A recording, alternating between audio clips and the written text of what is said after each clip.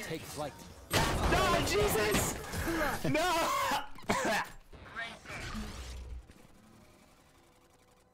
huh. Interesting.